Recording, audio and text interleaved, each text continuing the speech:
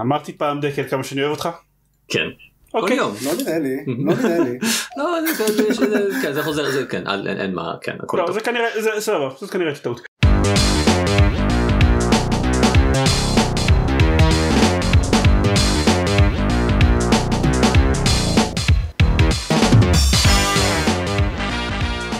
ברוכים הבאים לגיימפוד, הפודקאסט שלו במשחקים גיימפד, פרק 214, אני דן זרמן ואיתי עידן דקל. עופר שוורץ ואליהו נביא. הפתעה, ספוילר. כן. אני רוצה להתחיל את הפרק בלהתנצל על הרבה הרבה דברים. אני רוצה להתנצל על זה שלא היה פרק 214 לפני שבועיים, מתי שהוא היה אמור להיות, ובמקום זה לק... דחפנו את הפרק לכאורה בונוס מחוץ לסידור הרגיל של הפרקים על קינגדום הארץ, אבל בעצם, אבל בעצם אני רוצה להתנצל על, ה... על האיכות הקלטה של עופר, כן. שמקליט לא עכשיו, ב setup הרגיל שלי. כן, הוא מקליט דרך אה, פחית של קוטג' שמחוברת לחוט, אז כאילו אולי אתם שומעים את זה באיכות טיפה פחות טובה מבדרך כלל. ראוי לציין פחית קוטג' שמחוברת לחוט שמחוברת למחשב Microsoft Surface. זהו, כן, שזה החוליה החלשה בשרשרת הזאתי. אה, ואני רוצה להתנצל אה, לך זיירמן שאתה צריך לערוך כל כך הרבה פרקים. כן. אני גם רוצה להתנצל על זה. בעיקרון אני אני לא חושב שזה לערוך הרבה פרקים כמו שהיו לי שבועות מאוד מאוד עמוסים בעבודה אז ביחד עם העריכה של הרבה פרקים אה. זה יוצא שאין לי מספיק זמן לשחק בדברים ויש מלא דברים לשחק בהם אז זאת זה בעיה. בסדר, אני שיחקתי בכל הדברים אה. עכשיו, ואז בפרקים הבאים אתה אני אערוך ואתה תוכל לדבר על משחקים. אני מה שיקרה זה שאני כנראה אמשיך לשחק ביט סייבר או משהו כי סוף סוף יהיה לי זמן אז סוף סוף אני אוכל לחזור לשחק בדברים שאני משחק בהם כל הזמן במקום בדברים חדשים. רצינו להתחיל מ- מחדשות קצת כי אוקיי, לא, בוא נגיד, מה שקרה זה שאני שיחקתי בכל המשחקים בעולם. כן זה נכון. אה, וכאילו באמת בלי להגזים איזה עשרה משחקים שונים שאני יכול לדבר עליהם. They said it הזה. cannot be done, אבל עופר הוכיח ש... כמות הזמן הפנוי שיש לך כשאתה לא עורך פרקים היא, כן. היא מטורפת. לא, זה פשוט בכל אחד מהם שיחקתי קצת, או ברובם שיחקתי ממש קצת. אה, פשוט לא יודע מה נכנס לי ב- בשבועות האחרונים, פשוט התחלתי מלא משחקים. כי אף אחד מהם לא בדיוק תפס אותך? הרבה מהם לא באמת תפסו אותי. טוב. מעט, כן. חבל. אה, אז אה, במקום שאני אדבר אה, שלוש שעות על משחקים ואז יישאר לנו שתי דקות לחדשות הממש מעניינות, אז, אה, אז נתחיל מהחדשות הממש מעניינות, ואז נדבר על משחקים, ואז על החדשות הפחות מעניינות. אוהו.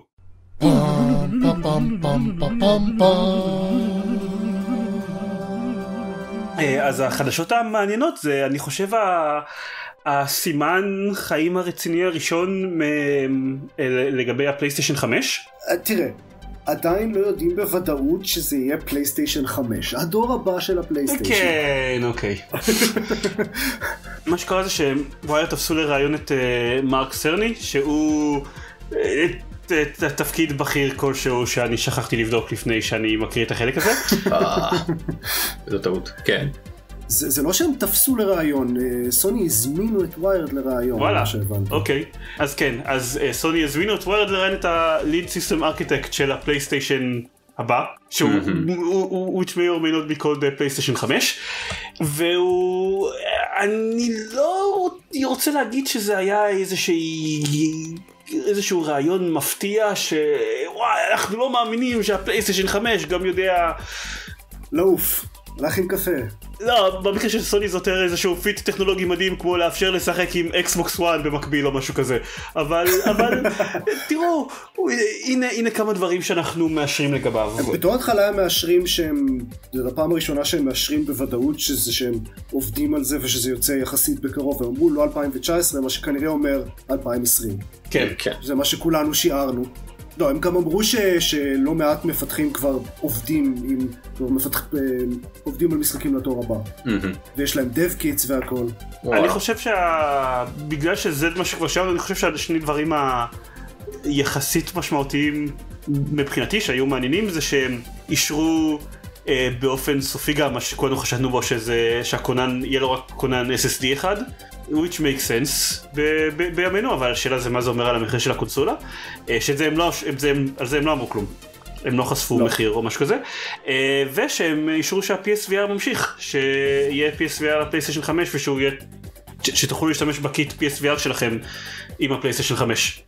Which is nice. לא, אבל הדבר הבאמת מעניין על ה... עם ה-SSD זה שהם אומרים שזה לא סתם SSD, שזה SSD מהיר במיוחד, אה, ושהם אה, כאילו ממש אה, ברמות מטורפות מעבר למה שיש אה, לפלייסטיישן 4, שהדוגמה שהם נתנו זה שהסיבה להגבלת מהירות בספיידרמן, כשעפים בעיר, זה הזמן שלוקח להם לטעון את השלב, ושעם ה-SSD של הפלייסטיישן הבא זה פשוט מיידי כמעט.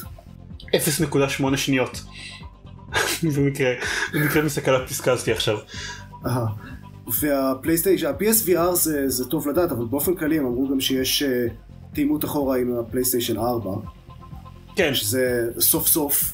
אה, שזה זה מגניב, אבל אני לציין גם, כמו הרבה מאוד מהדברים בהכרזה הזאת, מאוד לא הפתיע אותי, כי כאילו כל הקטע של הפלייסטיישן 4 היה שאחרי שאנחנו went batshit crazy עם הארכיטקטורה של הפלייסטיישן 3, אז אנחנו לא עושים את זה יותר אף פעם, אנחנו, אנחנו עושים משהו רגוע לשם שינוי, אז, אז נראה לי הגיוני שהם ילכו בכיוון הזה. כן, אבל זה עדיין. ועדיין ימנעו קרוס פליי בין כל...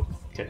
אני גם חושב שאולי, אתם יודעים, הם לא שינו ארכיטקטורה ממש בין 1 ל-2 ל-3, ואז הם שינו בין 3 ל-4, זה אומר שהם לא חייבים עכשיו להחליף, לשנות לא, אותה הם- שוב בין 4 ל-5. בין, בין 2 ל-3 הם שינו. 3 היה freak of nature מבחינת כאילו ארכיטקטורות לא, של אוקיי. קונסולות. אוקיי. ומהרבה בחינות. כן, זה מהרבה בחינות. אה, בקיצור, מגניב, אחלה. אה, לא, לא, אני מחכה שידברו על רליס דייט ומשחקים.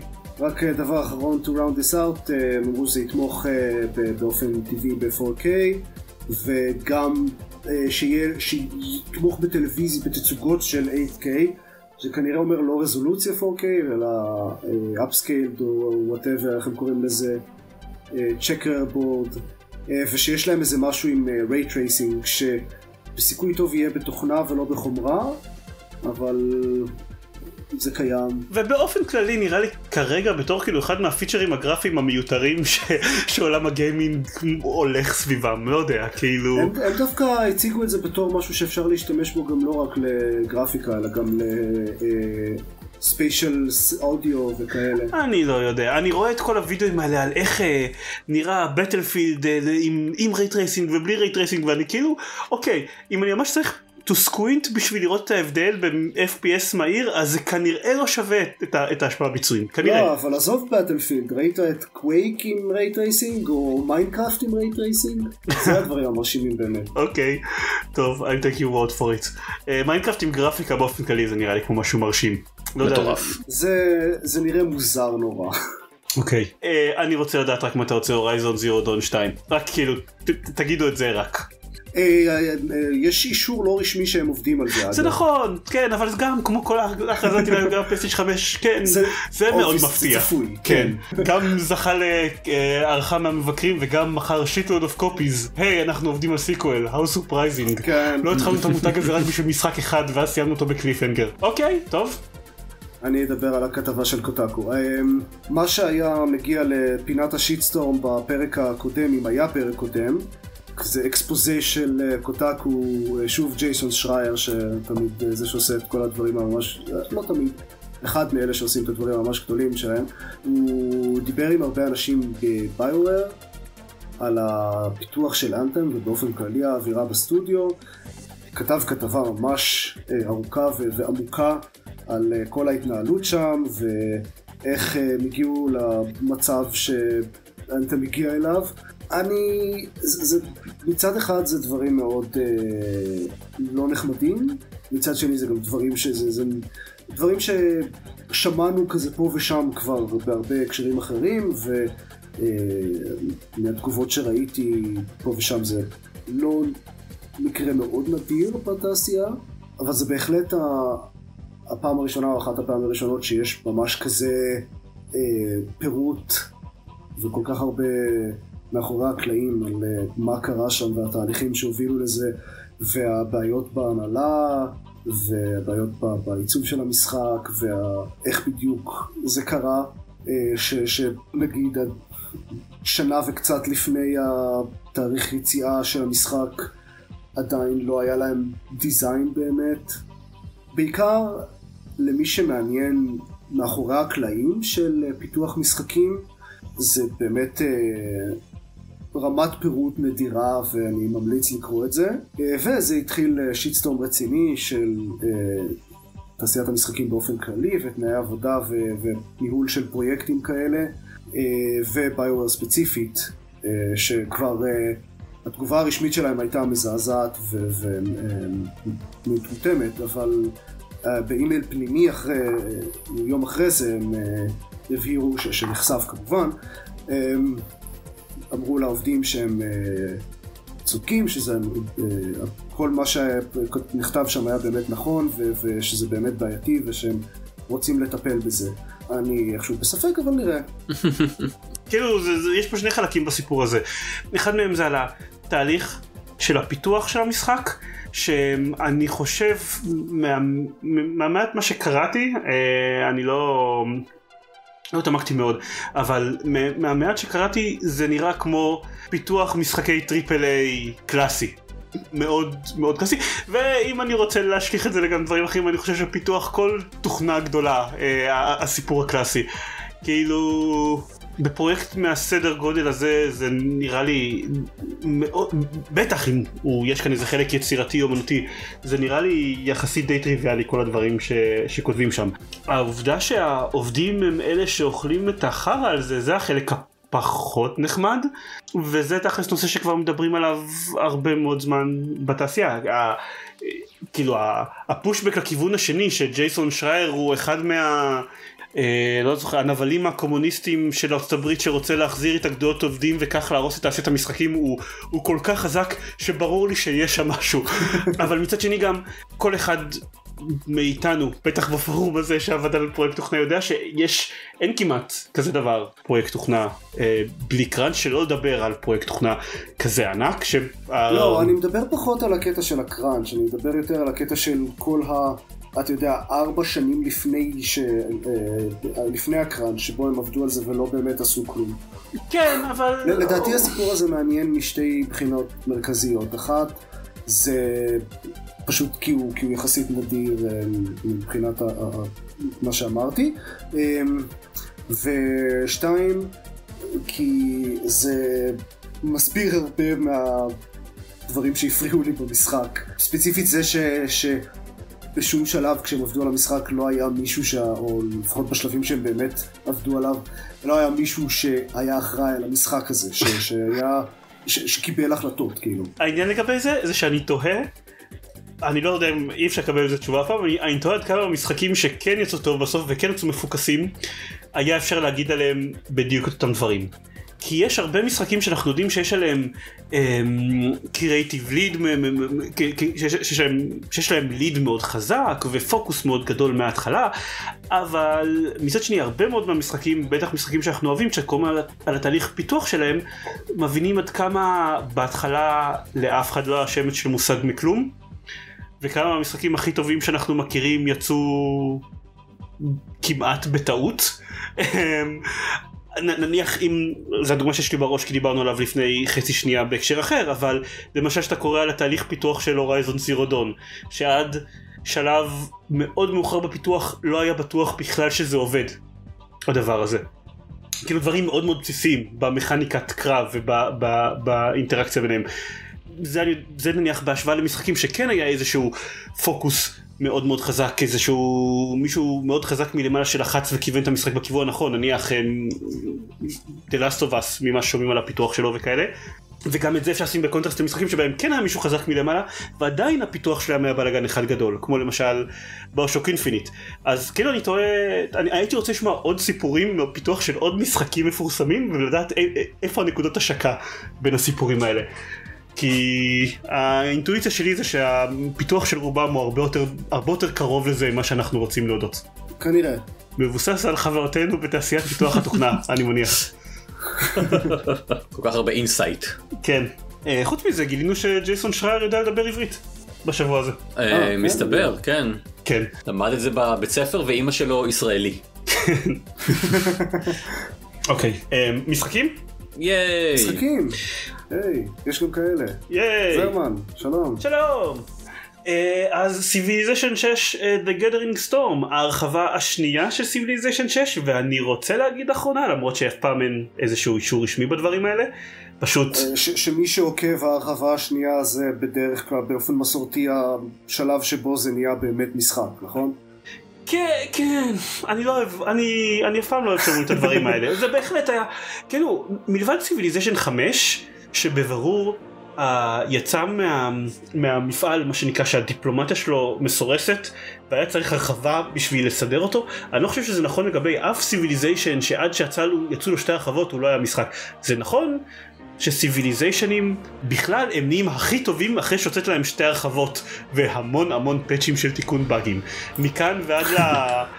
לדעה הרווחת שאין טעם לשחק בסיביליזיישן לפני ההרחבה השנייה, זה, אני, אני מאוד לא מסכים עם זה. אוקיי, סבבה, אז מה ההרחבה הזאת עושה? אז, אז מה שההרחבה הזאת עושה, ו- ובאמת בגלל שסיביליזיישן 6 יחסית הרגיש מאוד שלם, אפילו יחסית למשחקי סיביליזיישן אחרים הוא מרגיש מאוד שלם right out the gate, אז גם ההרחבה הראשונה והשנייה נראה כאילו מוסיפות רק דברים בשוליים. אז ההרחבה הראשונה הוסיפה את הקטע עם ה-age score שדברים מסוימים מעלים ומורידים לכם אותו ואז יש dark age ו...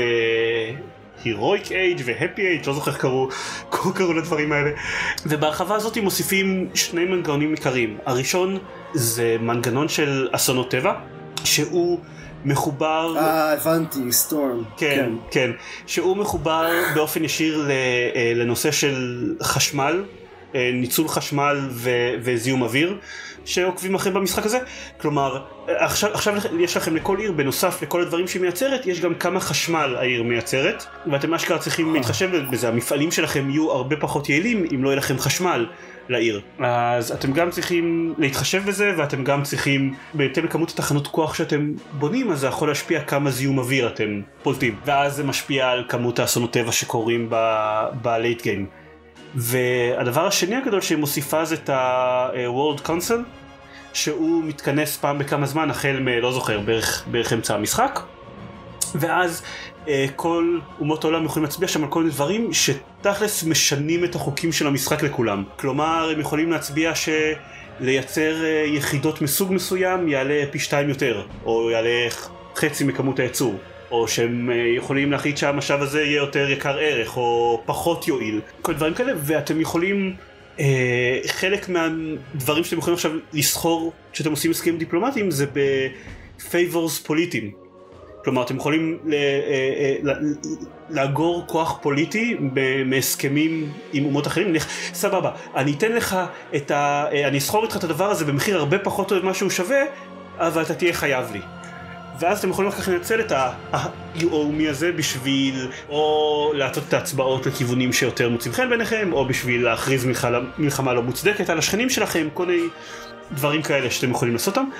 התוספות האלה אה, מאוד מאוד מאוד נחמדות כאילו שוב סיביליזיישן 6 בעיניי היה די אחלה לפני זה אבל, אבל גם התוספות האלה וגם העובדה שהעדכון שיצא ביחד עם, עם ההרחבה הזאתי היה עדכון מאוד גדול גם למשחק הבסיסי, גם אם אתם, גם אם אתם משחקים בלי הרחבות, יש לכם עכשיו production queue בערים.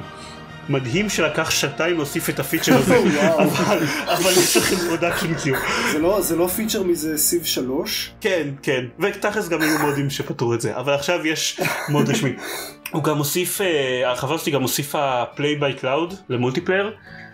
שזה צורת משחק שאני מאוד אוהב למשחקי multiplayer כזאתי של כל אחד יכול לעשות תור בזמנו הפנוי ואז שחקנים האחרים מקבלים אימייל אם עכשיו תורם לשחק או לא. Uh, זה מאוד מאוד נחמד עובד טיפה פחות טוב ל-Civilization 6 כי נניח ב-Twilight Struggle שאני משחק ככה אז להתאים את המשחק לוקח שנייה וחצי. ב-Civilization 6 אני מקבל נכון. אימייל היי אז צריך לעשות תור טוב סבבה נתאים את המשחק עכשיו יש 12 דקות נעשה תור נצא ונקבל 10 דקות אחר כך היי יש לך תור.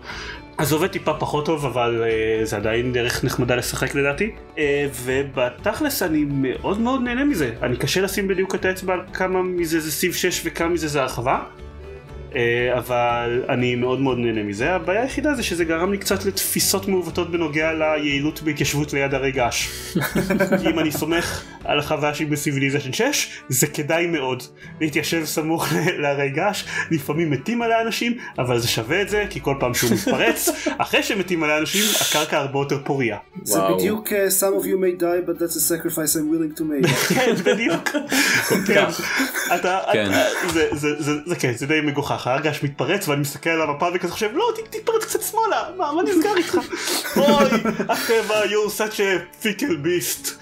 מה עשית לי? uh, אני משחק עכשיו את האינקה, שהם, שהם די, די נחמדים, הם יכולים uh, לבנות מנהרות בערים וכאלה, אבל אחת מהסיביליזציות החדשות בהרחבה הזאת היא הקנדים.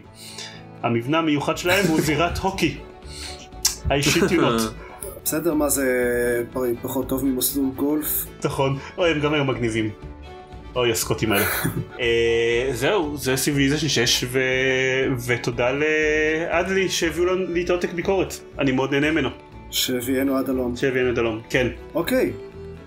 אה, אז תורי, אנחנו עושים את זה בתורות הפעם, כי יש אחרת אני הייתי מדבר, כאמור, במשך שעתיים. אוקיי. אז uh, אני שיחקתי ב-One Finger Death Punch 2. Uh, מה שקרה uh, בקצת יותר פירוט זה שאני מבקר עכשיו ב- בישראל לכבוד פסח, ולפני שיצאתי מהבית אז uh, הורדתי כמה משחקים לסוויץ', ושמתי לי כל מיני פרקים וסרטים על הלפטופ, והורדתי ספרים וקומיקסים. ואז הגעתי לפה וקיבלתי עותק ביקורת ל-One Finger Death Punch 2, ומאז זה כל מה שאני עושה. ספר קצת על, אה, על סדרת המשחקים הזאת. כן, אז One Finger Death Punch, אה, למי שלא מכיר, זה משחק אה, כזה חצי, אה, זה, זה משחק כזה בהשראת אה, סרטי, סרטי קונג פו, אה, הוא חצי משחק קצב, חצי משחק מכות. אה, ואיך שהוא עובד זה מגיעים אויבים משני הצדדים, כל הדמות הראשית וכל האויבים הם stick figures. אם מגיע אויב מצד שמאל צריך לעשות left קליק על העכבר, אם מגיע אויב מצד ימין צריך לעשות right קליק. זהו. זה לא לגמרי זהו, אבל זה די basically המשחק.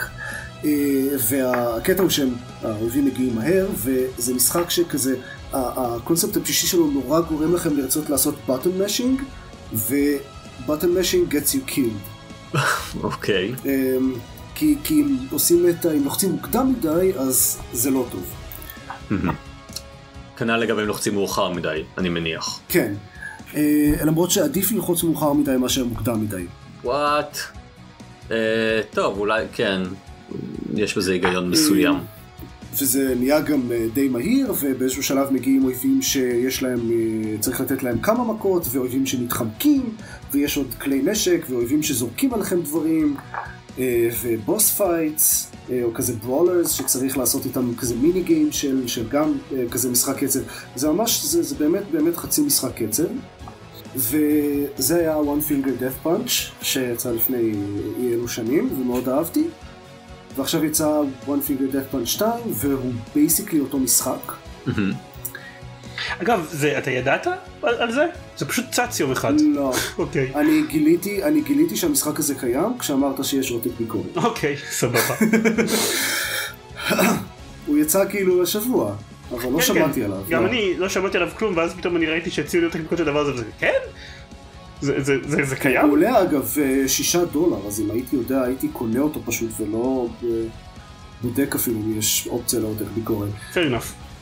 ואני חושב שעכשיו הוא נמכר בבנדל, באיזה מחיר של לא יודע מה, 4 דולר אולי, אם ממש בא לכם אותו ועוד כמה משחקים אחרים. אז One Finger Death Punch 2, אה, הם הוסיפו עוד כל מיני נשקים ועוד מלא אנימציות מגניבות, זה, זה כל הפיל של המשחק זה, זה מבוסס על, האנימציות האלה, הרי זה היה כאמור נורא סרטי קונג ישנים, אה, יש גם כזה אנאונסר שצועק דברים אה, פה ושם, ומדי פעם המשחק מעת לכזה כשנותנים איזה מכה הוא עושה מושן, אה, או איזה שהם אנימציות מגניבות של, של מוות, של אויבים, או מגיעה איזה משאית ודורסת מישהו out of the blue, ויש מלא כאלה שזה פשוט נורא מגוון מה שהולך ברקע בזמן שאתם לוחצים left click left click left click left click זה מה שזה חלק גדול ממה שעושה את זה כיף. אה, אז במשחק החדש הם פשוט שיפרו את, את זה, ואת התפאורה ממש ממש הרבה. אה, ויש קצת סוגים חדשים של, אה, של כאמור נשקים ויכולות אה, מיוחדות ואויבים. כשאני אומר יכולות מיוחדות אגב זה דברים שקורים נטענים כזה ברקע פאסיב ואז כשלוחצים על כפתור זה, זה קורה אוטומטית, זה לא דברים אקטיביים, זה עדיין רק left click click, זה נקרא one finger death punch כי תאורטית אפשר לשחק את זה באצבע אחת. כן, אם אתה ממש מהיר אני מניח. כן, זה יהיה קשה אבל אפשר. אוקיי. והם הוסיפו גם איזה מצב משחק חדש, כזה גונטלט, ועוד איזה מצב משחק ממש ממש מצחיק, שנקרא No Luca No, אוקיי. אוקיי. אמ, שזה basically המצב survival הרגיל, יש למשחק הזה mode של survival, שפשוט כזה תחזיקו כמה שיותר זמן, רק שפעם בכמה שניות מופיע חתול על חצי מסך, וצריך להזיז אותו עם הסמן של העכבר. I can so relate. כן, זה נקרא No Luca No. נהדר. אה, אז כן, זה, התיאור של ה mode הזה הוא משהו בסגנון אה, Fight your enemies and that damn cat. אה, זה קצת מתחבר למה שאמרתי, בזמנו דיברתי על זה שגלית שיחקה ב-Epistory עם רמת קושי חתול יושב על המקלדת. כן, כן, זה בדיוק זה. נהדר. בקיצור זה One Finger Death Punch 2, מאוד מאוד מומלץ. אה, לפחות תסתכלו על טריילר ותראו כמה המשחק הזה מגניב. למי שאוהב משחקי קצב, מומלץ במיוחד.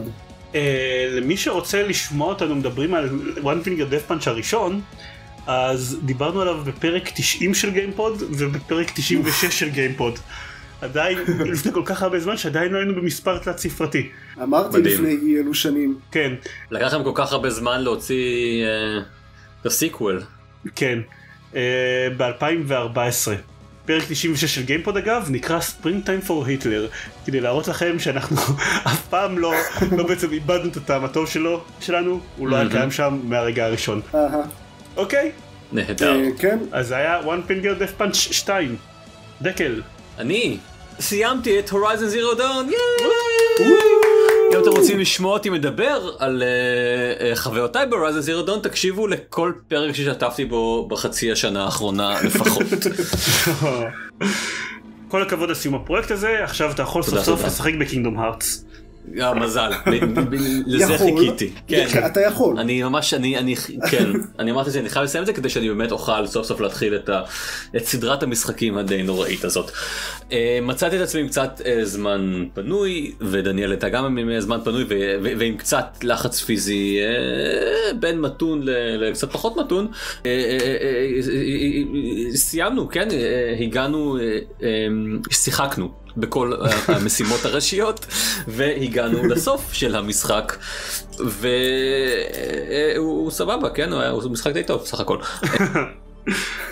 כך שמעתי, כן. כן אני באיזושהי נקודה בגלל שלקחנו כל כך הרבה זמן לסיים אותו אני והיא ככה הסתכלנו אחד לשני מהספה אני כזה מה מי הדמות הזאת מה הסיפור מה בעצם גילינו עכשיו ואז מתישהו אני אני פשוט כאילו אה, אה, הבנתי שאם אני לא הולך אחרי שאני מסיים ליוטיוב ו- ו- ומחפש את אה, אה, מה בעצם קרה פה כן מה, מה העלילה של הורייזן אני לא אבין אה. מה קרה. אה, אוקיי. נכון ואז ראיתי את זה ואז, ואז אני די הבנתי מה קרה. אה, סך הכל זה לא היה כזה מסובך מסתבר. זה לא כזה מסובך אם אם אשכרה עושים, אה, משחקים איזה... כן, אבל יש שם איזשהו. סיפור עם מה... אני, אני, אני לא, לא לגמרי בטוח אפילו אם, אם, אני, אם הבנתי, כלומר יש את, ה, אה, את הפרויקט, את הורייזן זירו דון, והיה את התוכניות, כן, לגבי מה יקרה, והתחושה שלי היא שהוא משהו שמשתבש בדרך, מה שהביא אותנו למצב שבו אנחנו נמצאים אה, כרגע, אני לא הכי בטוח מה, מה אני באמת לא, קרה שם. לא חושב ש... כי טוב, לא ניכנס עכשיו לדיון, לדיון ספוילרים, כן, אבל כן, נכון. אני חושב, כאילו אתה אמור לצאת יחסית בטוח, אוקיי. עם, עם, עם מה קרה, כן. המבנה, למרות שכן, המבנה הנרטיבי, כי אפשר להגיד הרבה על כמה שהעלילה שלו היא, היא לא מפתיעה, ואנשים אמרו את זה, אבל אני חושב שהם די... אה, אה, מזניחים בכמה זה מאוד לא טריוויאלי של לעשות משחק triple A עם מבנה נרטיבי כל כך מסובך אז, אז, Right. אז אני יכול להבין למה זאת בעיה אם אתה משחק בו לא חצי שנה אם הוא קצת פחות מובן. אה, אתה לא אמור, מה שאתה לא אמור להבין זה כמה חורים גדולים שמאוד בבירור הושארו בכוונה כאילו כשכן מסבירים לך אותם אומרים לך מהמם. קרה איקס אנחנו לא יודעים מה המקור שלו שזה כאילו החורים הגדולים שהשאירו בשביל הסיקוול. בשביל שתיים כן אוקיי. כן אבל הם לא הם, הם לא חורים. כאלה גדולים כנראה. כן אוקיי. אה, אני כן מרגיש קצת כמו שדיברתי אני חושב על ביושוק או נגיד הסיסטם שוק בזמנו כשהרבה מהעלילה מסופר לך דרך קטעי סאונד וקטעי טקסט שמפוזרים ב... מפוזרים ב- ב- בעולם הפתוח הזה ולרובם את, לרובם לא הקשבתי אני חושב שהרבה מאוד מהם אפילו לא הרבה מאוד מקטעי טקסט אפילו לא מצאתי כלומר אני מרגיש כאילו אני חושב, שה... אני חושב שהדברים האלה, ה collectibles הם בעיקר יותר flavor. כן זהו אבל אני מרגיש הרבה מאוד מה fluff הלך לי לאיבוד. כן, הרבה, זה, זה כן הרבה מהבניית עולם של העולם ה- ה- הפיוטריסטי מהמם, כן נעשית ב- ב audio logs ו collectibles, כן. right. מהבחינה הזאת ההפסד העיקרי או לא יודע ה- הדבר העיקרי מבין כל המיליון וחצי side activities שיש למשחק זה ה vantage points תכלס. כן. שהם כן יחסית קל למצוא את כולם והם בטח עם איך שהמפה של Horizon בנויה והם כן מספרים סיפור אה, קוהרנטי אחד מההתחלה ועד ועד הסוף שמוסיף המון המון flavor ל... לעולם העתידני אז אני חושב שאם אתה מוותר על כל ה logs האחרים אז זה כנראה הדבר הכי כן. הכ- אוקיי, הכי אז מעניין זה- לשמוע. את זה עשיתי וזה באמת היה לא יודע כן מעניין במידה מסוימת. Um, רציתי להוסיף עוד משהו אני ניסיתי סיפרתי שכשאני לא משחק עם דניאל אני משחק בכל ה side missions והכל ו- ו- וניסיתי וקיוויתי לה- אה, להשלים את כולן אבל מסתבר ש... שלא עשיתי את זה. כי הסתכלתי פשוט ברשימה של ה side quest ופרמנט היו לי כמה חוסרים וזה קצת מעצבן שאין לי שום מושג איך אה, למצוא אותם. אה, המשחק לא נותן לך שום אינדיקציה לזה שסיימת את כל המשימות או, ש... אה, או שיש לך עוד משימות נוספות אה, למצוא. כלומר, אני חושב שאם אתה מוצא את כל ה long necks, Tallnecks, זה... לא, זה- לא, משימות, אה, אה, המפה, לא?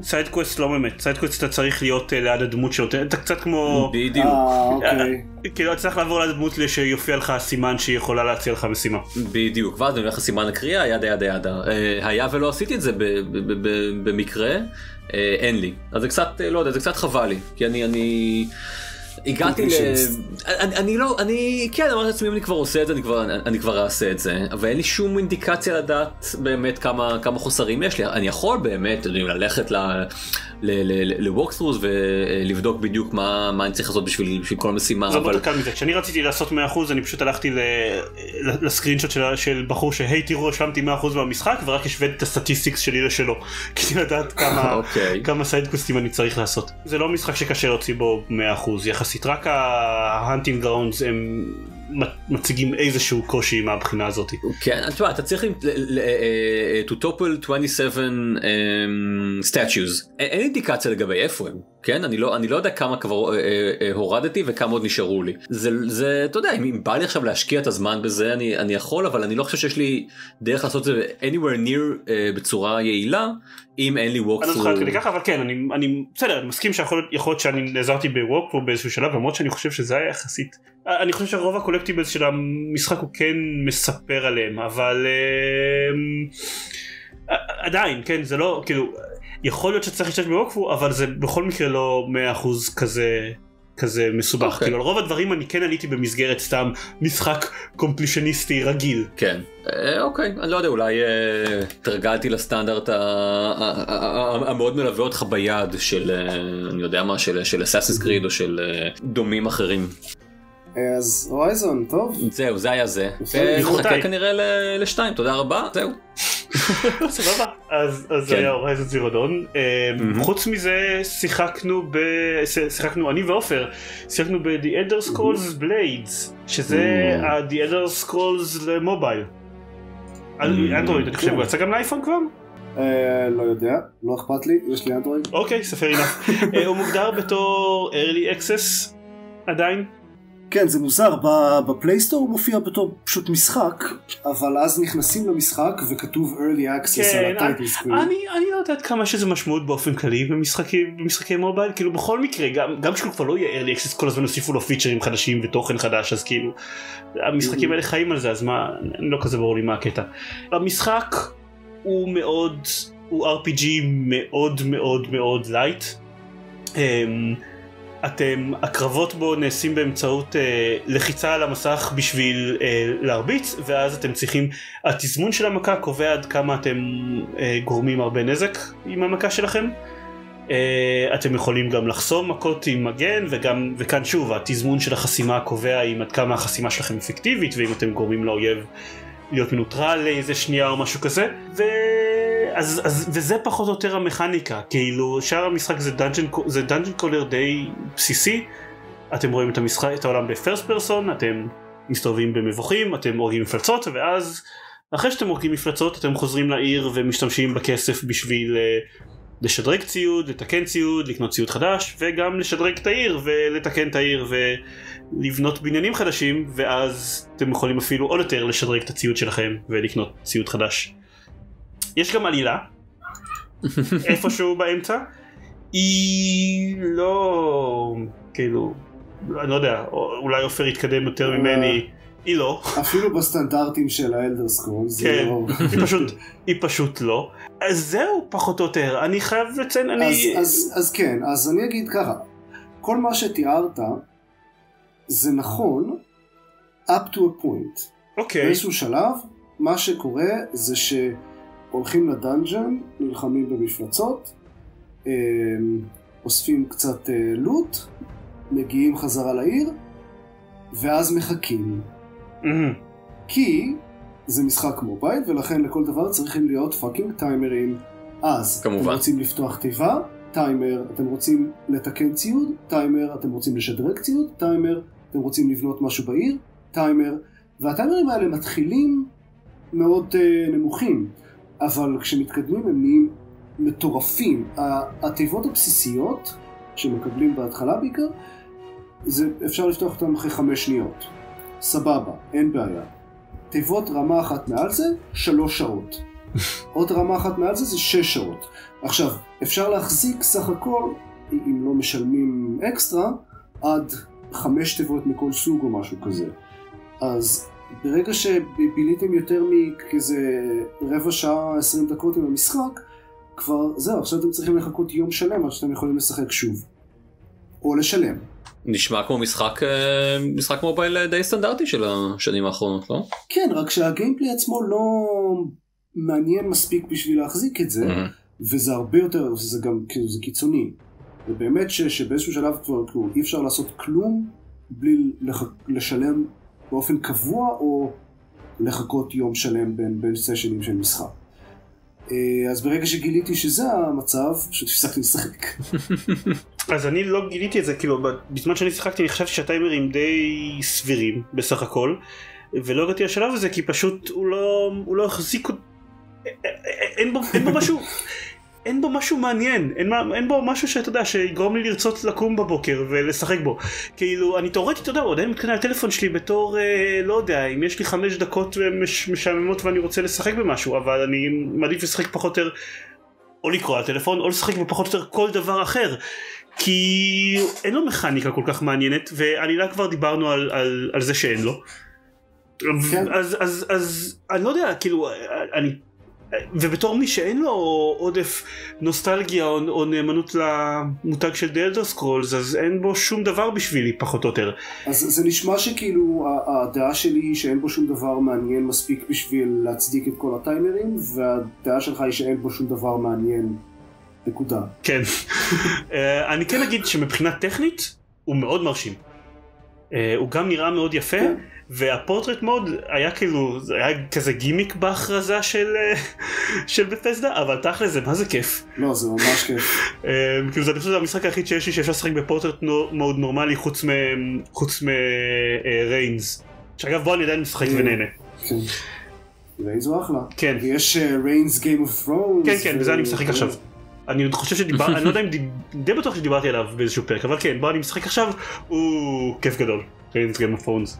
אה, אז אני, מה שאני עשיתי, זה אה, אחרי שוויתרתי על Elder Scrolls Blades, היה עליו, היה איזה משהו ב Reddit על thread על כמה שהוא מעצבן, על כל הטיימרים האלה, ואז אה, אנשים שם המליצו במקום זה על משחק שנקרא The Quest, שהוא אה, משחק כזה פרימיום, לא אה, משחק מובייל free to play, אלא משלמים 8 דולר, וזהו, יש לכם את המשחק, והוא פחות או יותר כזה, יותר בסגנון הישן של Elder Scrolls, כזה Daggerfall. אני כנראה, זה מבין כל האנשים שמאזינים לפודקאסט הזה, זה אולי אני ועוד שלושה אנשים שיודעים מה זה Daggerfall. Daggerfall היה Elder Scrolls 2. של זקנים, זהו, אנשים של זקנים מספיק. אבל הוא בערך כזה, הוא עם העולם הפתוח, וממש אפשר ללכת לחנויות ולקנות דברים ולדבר עם אנשים ולהסתובב ולקטוף צמחים, להכין שיקויים,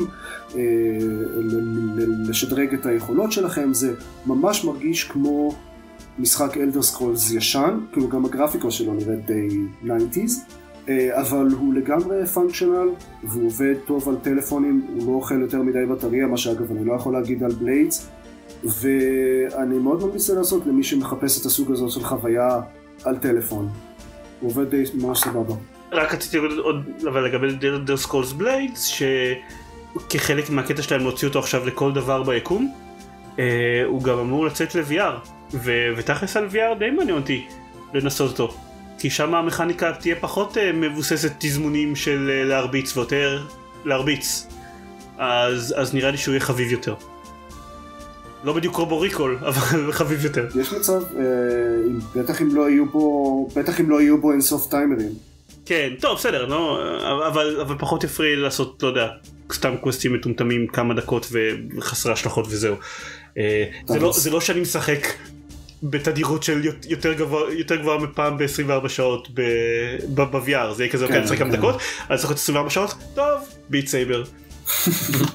ואני רק uh, רוצה להגיד שלא uh, דיברתי אף פעם פה בפודקאסט על Reigns Game of Thrones מסתבר, אבל דיברתי על זה בשורפים משחקים, בפרק, פרק הראשון של העונה השמינית מסתבר, שם אני עדיין לא ידעתי אם אני אוהב אותו או לא, אז ספוילר, מאז אני כן אוהב אותו. פרק, פרק ראשון של העונה השמינית של שורפים משחקים, כן, כן, כן. לא של Game of Thrones. לא של Game of Thrones, עוד לא יצא אז. זה הכל? אז זה היה of Blades וקצת Reigns Game of Thrones וקצת The Quest. אוקיי, אז אה, אפרופו אה, משחקים שמרגישים כמו משחקי תפקידים משנות התשעים, אה, אני שיחקתי באופרנציה The Stolen Sun. אני אוהב את זה שאתה ממציא לחלוטין את השמות האלה. אני לא מבין מאיפה הם הנפיצו את השם הזה, זה שם נוראי, אבל זה משחק ממש כיפי, זה ממש מרגיש כמו דאנג'ן קרולר קלאסי, עם כזה, המפות מבוססות על משבצות. כל, כל התנועה כאילו מבוססת על משבצות, וקרב אה, מבוסס תורות, אה, עם כזה שלוש אה, או ארבע דמויות בחבורה, אני לא זוכר אם זה שלוש או ארבע, ארבע. ברור שזה ארבע, זה חייב להיות ארבע, זה תמיד ארבע ב dungeon crawler הזה. ולי אישית הוא נורא נתן vibe-ים של Lands of Lore למי ששמע על המשחק הזה בכלל, אבל זה כזה, זה ממש ה dungeon crawlers הקלאסיים של שנות התשעים. יש בו כל מיני אויבים מעניינים, יש בו קרבות יחסית אה, מאתגרים, יש בו מלא חידות נחמדות, מלא דברים סודיים למצוא, והוא פשוט, וסביבות ממש יפות, זהו, פשוט משחק כיפי אם זה מה שאתם מחפשים, ואני אישית חיפשתי דאנג'ן קרולר בדיוק מהסוג הספציפי הזה כבר שנים. אה, ניסיתי בזמנו את אה, Legends of Grimrock, קראו לו משהו כזה. זהו, רציתי לשאול. אה, שלא כזה אהבתי. אז לא אהבתי את Grimrock כי הוא היה נורא מבוסס על כזה תנועה של, להתאים את התנועה שלך ביחס לתנועה של המפלצות, שאיך שהן זזות כזה ב... לא, לא אהבתי את מה שהוא עשה שם עם זה, זה מאוד עצבן אותי. המשחק הזה לא עושה את זה, זה ברגע שמתנגשים עם איזה מפלצת, אז עובר למסך אחר ושם והקרב קורה שם אה, ואז זה כזה בתורות כמו שצריך ואין כל מיני בלאגנים וצ'יזינג עם זה וכן יש את, את כל השאר אז מומלץ למיטיבי לכת. nice.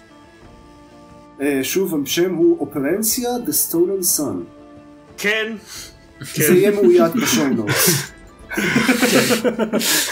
אה, דבר אחד, דבר אחד רע שאני כן אגיד על המשחק הזה, mm. ה voice acting בו כל כך גרוע. זה פשוט, זה מביך. וויס אקטינג טוב לא היה חלק מהדברים שעשו את dungeon crawlers קלאסי מה nineties. זה נכון, זה נכון, אבל זה פשוט, זה, זה מגוחך. אוקיי. אה, טוב, אני, אחד מהדברים החדשים שאני שיחקתי בהם, אה, אנחנו כאמור יש לנו מיליון משחקים לרוץ עליהם, אה, זה Mutant Year Zero, שהוא... היה לו טריילר מאוד כזה ש, שעשה אה, המון אה, הייפ כשהוא יצא, שרואים בו... זה היה כזה לא אקסקום, נכון? ז- כן, כן, אה, שרואים בו מוטנטים, וכשאני אומר מוטנטים אני מתכוון למוטנטים כמו ביבופ ורוקסטדי style. כאילו חזיר שהולך על שניים ו- וברווז שאוקיי תמיד הולכים על שניים אבל הוא גבוה ומעשן סיגריה. ו- ואישה שעם קרן, that art thing אני מניח, הם נלחמים נגד כל מיני רובוטים ו- וכל מיני כאלה, וזה היה טריילר שנראה מאוד חמוד, ואז הסתבר שהמשחק עצמו, שטריילר מפרסם, כי טריילר היה כולו pre-rendered CGI, הוא, הוא משחק style אקסקום. אז אתם יודעים, זה, זה כאילו מסתדר with my interests. לקח הרבה זמן עד, עד שהצלחתי להגיע אליו, והגעתי אליו סוף סוף בשבועות האחרונים, וגיליתי שהוא לא באמת אקסקום. אהה. כן, הוא, אוקיי, זה משחק עם קרבות טקטיים מבוססי תורות על grid, עם half cover ו full cover שמאוד מאוד משפיעים על הזרימה של, ה, של הקרב, ומהבחינה הזאת, ו flanking כמובן שמאוד משפיע על הסיכוי שלכם לפגוע ולעשות criticals, אז מהבחינה הזאת הוא מאוד אקסקום. אבל המשחק עצמו הוא לא רצף של משימות לא מחוברות כמו אקסקום, אה, או שיחסית לא מחוברות, שמה שמחבר ביניהם זה הדמויות וההחלטות האסטרטגיות שאתם עושים בין לבין. אה, כשאתם מתחילים אותו, המשחק מתרחש בעולם פוסט אפוקליפטי, yada yada קרינה, בגלל זה יש מוטנטים, יש איזושהי עלילה, וגיליתי שזה גם מבוסס על setting למשחק תפקידים. גיליתי את זה השבוע. אוקיי. המשחק עצמו הוא עולם שלם ו- ואחיד שכל האויבים נמצאים בו כבר על המפה מהרגע הראשון. כאילו אתם לא באמת נזרקים עליכם שורה של משימות אקראיות שכל פעם אתם צריכים להצליח ב objective בשביל לקבל איזשהו פרק או למנוע איזשהו אסון. אלא פשוט כל פעם יש לכם quest, אוקיי, תגיעו לנקודה הזאתי במפה ותעשו ככה, ובשביל להגיע לשם אתם, מה לעשות, עוברים דרך אויבים שיש על המפה. אה, יש גם עוד דברים על המפה, בעיקר לוט, אה, שאתם צריכים לאסוף בשביל לשדרג את הדמויות שלכם. אם אתם נכנסים לטווח ראייה עם אחד מהאויבים האלה, אז אתם יכולים להחליט אוקיי, עכשיו אני נכנס למצב קרב, עכשיו נכנס למצב מבוסס תורות ומתחיל להילחם נגדם. אה, זה יותר כזה, מה, וייסלנד 2 כזה, כן, זה, זה כן, משחק אה, תפקידים, משחק תפקידים טקטי כן, זה. כאילו אמרו לי Wasteland 2 אבל לא שיחקתי בו, אבל כבר שמעתי את זה, כשתראה את המשחק ככה כבר אמרו לי את זה, אז אני אניח שאתה צודק. אמ, כאילו אתם יכולים בכלל, זה- אשכרה משחק stealth, אתם יכולים פשוט להתגנב ולא להשתתף, כאילו לעקוף קרבות. אתם לא חייבים להשתתף בהם, אתם תוותרו על ה loot וה experience שהם ייתנו לכם ואתם יכולים פשוט לדלג על קרבות ככה. אה, והרבה מהמשחק באמת זה... זה לעשות המון scouting בשביל לראות דרכי גישה אלטרנטיביות בשביל או להתחמק מקרבות לחלוטין לעשות את הקרבות בסדר אה, לא בסדר שהמשחק מפגיש אתכם בקרבות אלא בסדר שבו זה יהיה מסודר לכם מהקל לקשה וגם הרבה פעמים כשאתם כבר כן רואים איזשהו אזור שאתם רוצים להילחם בו אז אה, לנסות לעשות סטלף קילס בשביל להיפטר מכל מיני אויבים שעומדים בשוליים והחברים שלהם לא רואים אותם לפני שאתם אשכרה מתחילים את הקרב עצמו. וכאן זה נקודה שבו זה ממש לא אקסקום כי אני בהתחלה ניגשתי למשחק הזה בתור אקסקום מפתיע, מפתיע אותי מאוד, אקסקום, כן. כן, אני משחק את אקסקום על iron man, אני אנצח את כל האויבים ו yada yada yada, אה, ושיחקתי לא יודע על איזה רמה קשה הפעלתי אותו, ופשוט קרעו לי את הצורה, כי בניגוד לאקסקום, המשחק לא מסדר לכם את האויבים במנות נוחות של שלוש או ארבע, שאתם כל פעם מטפלים ב pod אחד, יאללה עכשיו בוא נילחם נגד ה pod השני, מה שקורה ב Mutant Year Zero זה שברגע שאתם מסתיים, שאתם עושים תור של ambush, אתם נניח אה, פוגעים באיזשהו אויב, אם אתם לא הורגים אותו, אז הוא יקרא לכל החברים שלו. אז לא נלחם רק נגד שלושה או ארבעה אויבים, אלא כולם מהאזור יבואו להילחם נגדכם. ונגד שישה או שבעה אויבים אין לכם שום סיכוי. אה, ניסיתי לשחק בו קצת, נכשלתי שוב ושוב ושוב, ואז כזה, אוקיי, רגע, אני מפספס משהו? אה, התייעצתי קצת עם, עם החבר'ה ב Working Gamers והבנתי שאני אכן מפספס משהו, וצריך לשחק את המשחק הזה בתור משחק stealth ולא בתור אקסקום. ומהנקודה הזאת והלאה הולך לי הרבה יותר טוב איתו ואני נהנה, נהנה הרבה יותר. הוא מעניין, אני לא, הוא, הוא לא חוויה טקטית, הוא, הוא לא טוב בתור משחק טקטי כמו אקסקום, אבל הוא משחק נחמד ומעניין. ומאוד מוצלח. אז אוקיי. okay. מומלץ בחום, פשוט אל. תבואו בציפייה לאקסקום. זה לא עובד, אבל, אה, אבל הוא, הוא, הוא מומלץ בחום, אני מאוד נהנה ממנו, והדמות חמודות, והם נמנעים אה, בגלל שאחד מהם ברווז הזה חוסך להם את הצורך בלקלל אה, הרבה מאוד פעמים, כי הם יכולים להגיד דברים כמו shut the duck up. הבדיחה הזאת חוזרת על עצמה הרבה מאוד במהלך המשחק, כל כך הרבה כמעט שאתה חושב שהי אולי הם, הם ניסו בכוונה להימנע מלקלל עד שאתה מבין שהמשחק בכל מקרה מדורג מצ'ור כי יש בו כמויות אה, עצומות של דם. יש שיגידו אבל ש- they're trying to make duck happen. כן, אוקיי. כן. אז זהו, זה מיוטנט יו זירו. תורי, מהמם. אני שיחקתי גם בקלטיסט סימולטור. המשחק הזה שאף אחד לא מצליח לתאר אותו בדיוק מעבר למשחק קלפים. כולם נתקעים אחר כך. כי זה משחק די אה, ייחודי. זה, זה משחק מאחד המפתחים של סאנלס סי שרן דיבר עליו מתישהו. פולן לונדון שאמור להיות אה, משחק טוב. הוא כזה חצי סימולטור, חצי אסטרטגיה, חצי משחק קלפים. אה, מה שקורה בו זה שאתם מישהו, אתם צריכים לחיות את החיים שלכם, אה, אבל זה קורה בעולם אה, די לבקרפטי כזה. ומהר מאוד, אה, די, די באופן מיידי, מתחילים לקרות אה, כל מיני דברים מוזרים. איך שזה עובד מבחינה מכנית, זה יש כל מיני פעולות שאפשר לעשות, ויש לכם קלפים שיש להם אה, כל מיני כאלה תכונות, אספקטס הם קוראים לזה. אה, אז יש קלף שמייצג אה, בריאות, ויש קלף שמייצג אה, מחשבה, ויש קלף שמייצג passion, ויש דברים, ויש קלפים לכסף, ודברים הרבה יותר מופשטים. basically כל דבר מיוצר, מיוצג על ידי קלף, ויש את הפעולות האלה שאפשר לעשות, שזה דברים כמו לעבוד, או לחקור או ללמוד משהו, או לחלום, או, או לדבר עם אנשים. כל דבר כזה הוא פעולה, אז אפשר בכל אחת מהפעולות האלה לשים את אחד הקלפים הרלוונטיים, ואז הפעולה, ואז אחרי איזה חצי דקה דקה שעוברת, קורה משהו. עכשיו, ברוב המקרים אתם לא תדעו באופן מוחלט מה הולך לקרות כשאתם עושים משהו, לפחות לא כשאתם מתחילים לשחק.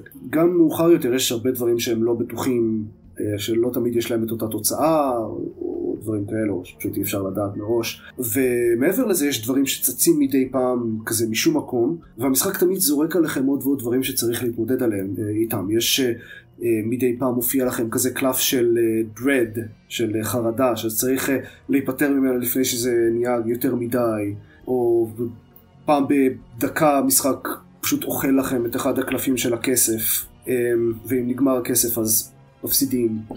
ומדי פעם כל- יש כל מיני, אתם מנסים לעשות איזושהי פעולה ופתאום המשחק אומר לכם "אה, סבבה אבל עכשיו אתם צריכים גם את הקלף הזה כדי להצליח לעשות את מה שרציתם. אוקיי. זה עובד מאוד טוב בלהעביר אה, דרך המכניקה שלו קונספטים מופשטים ו- ואת התחושה הזאת של, של החוסר בטיחות, בביטחון במציאות כאילו, והמסתורים, ו- וזה שאף פעם לא יודעים מה כאילו הולך להיות מעבר לפינה. מהמם. זה משחק מאוד מעניין בקטע של, של, של זה, ש, שאיך הוא מעביר דברים עם המכניקה שלו. כי הוא, אין, אין לו כאילו עלילה מעבר לזה, זה הכל מסופר דרך הדברים שקורים, הפעולות שקורות והקלפים שאתם, יש קצת flavor text, אבל, אבל תכלס זה הכל קורה דרך הקלפים והאינטראקציות עם הקלפים. ואיך שזה עשוי זה מאוד יפה. ו... ותכלס זה גם מעניין מה שקורה שם, אתם צריכים כאילו לבנות לעצמכם cult ו... ולחקור אה, כל מיני ספרים ובחלומות שלכם להגיע לכל מיני מקומות, זה, זה נהיה מטורף באיזשהו שלב, אז זה משחק מאוד מעניין, להסתכל עליו. אתה חושב שהוא יעבוד טוב במובייל? Uh, על טאבלט כן, על טלפון לא, כי וואו. יש בו פשוט יותר מדי דברים שקורים. כי אני ראיתי עכשיו כשנכנסתי לעמוד שלו בסטים אני ראיתי שיש לו גרסת מובייל וכאילו לא יודע, יכול להיות שזה יעבוד, אבל פשוט יש, יש כאילו המון דברים לנהל במקביל, זה הקטע. אוקיי אה, אז אני לא יודע אם זה יעבוד טוב על טלפון, כי פשוט כאילו, אתה יודע, יש לך כזה, איזה מין, אה, המשחק כולו, הוא כאמור בקלפים, זה מין כזה שולחן ענק שיכולים להיות מפוזרים עליו, וזה כזה כמה עשרות קלפים שונים, וכזה שבע שמונה פעולות שונות שאפשר לעשות איתם, ולפעמים אתה מריץ איזה כזה חמישה דברים שונים במקביל, ועוד איזה שניים שהמשחק זרק עליך בצד, אז הבנתי אני לא יודע איך זה יעבוד על מסך קטן. אוקיי טוב. אז נשקול את אה, צעדינו להמשך. אה, אוקיי אז זה. היה קולטיסט סימולטור שאתם עדיין לא מבינים מה זה אחרי שהקשבתם לעופר מדבר עליו אבל זה בסדר זה כאילו בדיוק החוויה של does. כל פודקאסט שדיבר על המשחק הזה אי פעם בינתיים אבל כולם ממליצים על זה בסופו של דבר הוא אחלה משחק. כן אולי- אולי מפחדים להיות ה- ה- ה- האלה שלא הבינו אותו הם לא רוצים להגיד אה, שהמלך הוא עירום. אני שיחקתי בו כבר שבע שעות ועדיין אין לי מושג מה באמת. אני לגבי זה שאנשים מפחדים להגיד שהמלך אה, הוא עירום דקל have you been in the internet אני מפחד אה, להגיד את זה. אנשים נהנים להגיד את זה גם כשהמלך לא עירום אה, כן. אין, אה, נכון. אף, אין אף משחק לא משנה כמה הוא טוב בצורה לא מעוררת שאין אה, מישהו שאומר עליו אה, שמישהו לא פרסם עליו מתישהו דיון ב-Working Gamers של אני היחיד ש... פיין, fair enough. טוב ונסיים נראה לי עם, ה, עם המשחק שכולם הכי ציפו לשמוע עליו כן. Kingdom Hearts 358 over 2 days סליחה לא סליחה אז זה אשכרה זה נושא לדיון באינטרנט ויש תשובה קנונית 358 days over 2 זה הדרך הנכונה להגיד את השם כן. את השם של זה זה, אני לא בטוח אם זה עושה את זה יותר או פחות מפגר. אני לא אני עדיין אני לא יודע אני אני אני יכול להגיד שיש במשחק קונספט של ימים אני כרגע ביום 23 בערך אז אני לא יודע כאילו מה יקרה כשנגיע ל-358 אם אני אגיע אולי זה נתקל אולי זה נתקע ב-177 לא 179 כי בגלל שחלקי 2 אין לי מושג אין לי מושג מה, מה כאילו מה, מה המשמעות של זה בינתיים. אני לא אדבר על זה הרבה כי באמת שדיברנו מלא על קינדום הארץ וגם אנחנו כבר אה, זה גם ככה יוצא פרק ארוך מה זה? רק, רק מה זה? זה לעזאזל? משחק שיצא לנינטנדו DS בזמנו זה אחד DS. מהמשחקי מהמשחקי צד של מהספינופים הרבים של קינגדום הארטס הוא ספציפית עוקב אחרי אה, רוקסס השדו סלף של סורה למי שעוקב אחרי העלילה השיטסטורם שהוא העלילה של קינגדום הארטס שבדיוק came into existence לא יודע שום דבר מהחיים שלו כי הוא בדיוק came into existence בלי הזיכרונות שלו זה כן קינגדום הארטס ומצטרף לאורגניזיישן פרטין המסתורי ושם לאט לאט לומד דברים כמו לדבר הוא בהתחלה לא מדבר כל כך וגם עושה כל מיני משימות בשביל האורגניזיישן והעלילה אמורה להתפתח כנראה עם הזמן בפועל זה מרגיש כמו כל הסייד קווסטים של קינגדום ארץ 2 שייצאו אותם למשחק נפרד כאילו אתם אתם כל פעם מגיעים לאיזשהו עולם מהעולמות של Kingdom Hearts 2 הם מעוצבים כמו עולם של Kingdom Hearts 2 וזה נחמד יש להם את המוזיקה של Kingdom Hearts 2 שהיא מוצלחת ו... והעיצוב של העולם והכל והכל מאוד נחמד אבל העולמות עצמם כמעט ריקים לגמרי. אה, יש הרבה אה, קירות שמונעים מכם ללכת בהם מלבד באזורים מאוד ספציפיים ואתם עושים שם משימות שזה בדרך כלל לאסוף משהו או להרוג משהו ואז חוזרים על זה שוב עושים עוד משימה ב-Twilight Town ועוד משימה ב-Twilight Town ועוד משימה ב-Twilight Town. כאילו זה זה ממש מרגיש כמו הסקירמש מוד של של קינגדום הארטס בלי העלילה או לא יודע או האלמנטים לא, לא כאילו האלמנטים שהופכים את קינגדום הארטס לקינגדום אה, יש לו מערכת מאוד מעוותת של העילת בדרגות שאני בינתיים לא החלטתי מה, מה דעתי עליה אבל היא כנראה שלילית. ואני עדיין לא בטוח אני כאילו אני קניתי אותו ל-DS אה, ואז ארז הביא את ה-3DS extra large שלו שזה בכלל נחמד כי זה לגמרי overkill המשחק הזה אבל היי אני יכול לשחק אותו על מסך יותר גדול. אני קניתי אותו בגלל שעניין אותי אשכרה לראות את המשחק אה, בגרסת פלייסטיישן 4 ה-remastered הוא המשחק הזה לא קיבל גרסה remastered אה, וואלה, חשבתי שיש פשוט את כולם. לא הוא רק קיבל גרסת סרט זה רק שעתיים וקצת של cutscenes. ב- בגרסת HD ל-cutscenes האלה כן אז אז עניין אותי אשכרה לראות את המשחק אני עדיין לא בטוח שזאת תהיה החלטה הנכונה דברו איתי על עוד 30 שעות שאני אסיים אותו ו- ונראה מה תהיה. עוד אה, 358 ימים. כן כן תכלס. אז אז אני אגיד לכם מה מה דעתי מה דעתי בעניין. אני קצת יודע מה ה-storyline שהוא אמור לספר כן? כי אני כי זה storyline שנסגר ב-Kingdom Hearts 3 ודאגתי להתכונן לפני. אני פשוט מחכה שהוא יתחיל. בינתיים הוא עוד לא התחיל. אז אמ, נראה לגבי זה כרגע הדעה שלי זה שעדיף לראות את הסרט. או, או בכלל לא. זה גם פרפקטלי ולי צ'וייס לא, לא לעשות אולי את הוא זה. נקרא ככה כי ה-358 ימים האלה מכילים שעתיים של אשכרה משהו רלוונטי. יכול כי- 352 days over 2 hours. כן, יכול להיות. אה, אגב, אם, אם הזכרתי את קינגדום הארטס, נגיד שהסרטון של Good enough explanation של קינגדום הארטס, שדיברנו עליו בזמנו פה בפודקאסט, שמסביר את כל העלייה של המשחקים, אה, זכה עכשיו לסיקוול, בתור Good enough explanation of Kingdom Hearts 3. אז אה, אם אתם רוצים לדעת, משום מה, אם אתם מתעניינים בעלילה של קינום ארץ, או שאתם שיחקתם בקינום ארץ 3 אבל אתם עדיין לא סגורים על מה קרה, או שאתם סתם רוצים לראות סרטון מצחיק וזה עובד, כי הסרטון הזה מאוד מאוד מצחיק, אז אה, תראו אותו, הוא מצחיק, הוא מומלץ בחום, זהו. אורייט. זהו, כן? אכן זהו. אה, קרו עוד דברים, עוד חדשות, אבל אנחנו דיברנו על דברים מעניינים בתחילת הפרק, אז, אז לא נדבר עליהם. יש בעיקר תאריכי יציאה של דברים, כן. רק תאריכי יציאה של דברים. כן, חידוש ל-13, XII, שהולך לצאת, שכאילו, איי איי איי. כן, זה, וואי אוקיי, לא ידעתי שזה משחק שמעניין מישהו מספיק בשביל לעשות לו רימייק. אה, מעניינים לרימייק יהיה סוף, בניגוד למשחק המקורי. אה, זה- זהו. אה, אז זה היה פרק 214 של גיימפוד, תודה שהקשבתם, אם אתם רוצים להקשיב לעוד פרקים, או, אנחנו אומרים את המספר של הפרק גם בסוף עכשיו, זה אני כן. אני, אני, אני הייתי מבולבל לרגע, זה מה שיצא. אה, אם אתם רוצים להקשיב לעוד פרקים ולראות סרטוני לטספלי שאולי נוציא מתישהו עוד פעם באיזשהו סיכוי, אז אה, תיכנסו לגיימפד.co.il, יש שם קישור לעמוד פייסבוק ולחשבון טוויטר שלנו, וזה הכל. אולי אני אכתוב פוסט על כל ה-200 משחקים שלא הספקתי לדבר עליהם בפרק הזה. לי יש אה, פוסט על סטארטרק פיט פוסט rant על סטארטרק פיט comment שמחכה כבר איזה משהו כמו חודשיים לזה שאני אשכרה אפרסם אותו. שאשכרה אני אסיים את הפסקה האחרונה שלו ו- ואפרסם אותו. אז אולי זה יקרה. אה, אני לא יכול להתחייב על הדברים האלה כי אם לא הצלחתי במשך חודשיים אין שום סיבה שאני אצליח עכשיו. אה, זה הכל. אוקיי. להתראות. Thank you very much, galera.